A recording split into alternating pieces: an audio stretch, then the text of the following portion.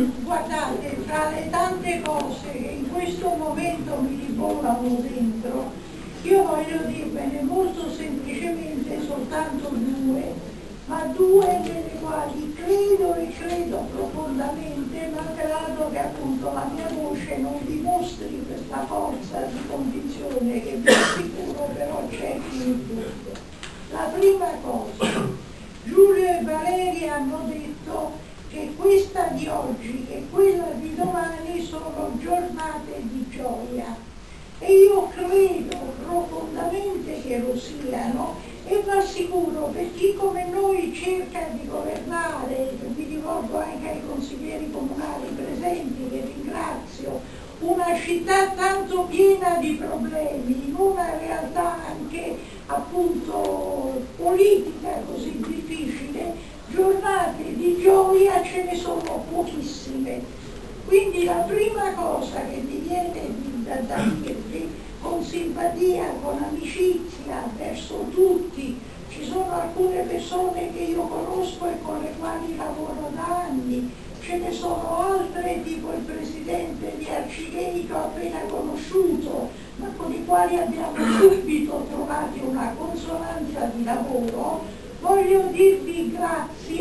perché quello che insieme domani cercheremo di offrire non soltanto alla comunità gay ma alla città. E spero attraverso i media, anch'io mi appello ai media, non so chi di voi diceva per piacere leggetelo con attenzione, leggetelo con interesse, cercate di andare, lo dicevi te, cercate di andare al fondo del messaggio, non prendetelo per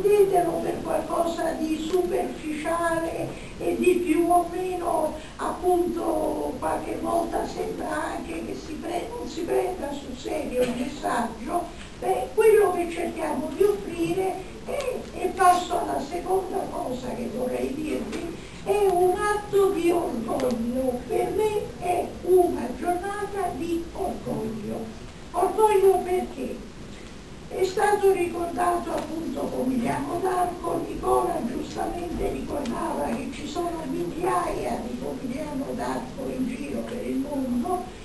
e in giro per l'Italia, e in giro per la Campania e in giro anche per Napoli. Ma se noi guardiamo tutto il contesto nel quale viviamo, vediamo che ci sono dei disvalori terribilmente. Qui il rispetto della persona umana, il rispetto dei suoi diritti, a cominciare dal diritto alla propria volontà di essere sessualmente come si è, al diritto al lavoro sembra che non esista più c'è appunto la ricerca di una contrapposizione, il nord contro il sud, le zone ricche contro le zone povere, gli immigrati contro gli italiani. C'è appunto una compressione, pensate alla legge sulla stampa, alla legge Bavaglio, della libertà di espressione e quando si comprime la libertà di espressione, amici miei, si comprime la libertà di parola e quando si comprime la libertà di parola si comprime la libertà di pensiero perché il pensiero formulato vuole essere espresso e piano piano, in modo quasi indolore, si trasforma la democrazia, la democrazia come la vuole la nostra Costituzione, una democrazia viva, partecipata, solidale, pacifica, la si trasforma in una specie di regime.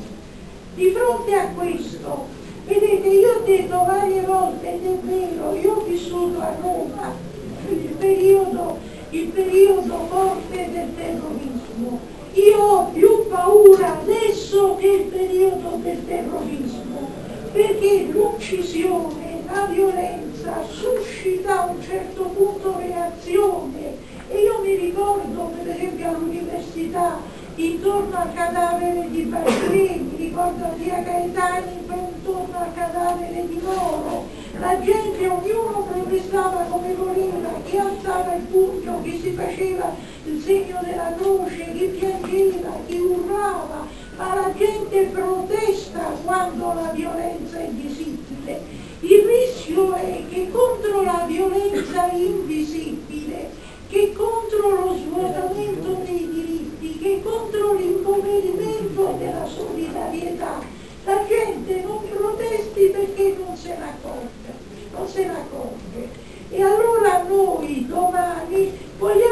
vogliamo lanciare una protesta, però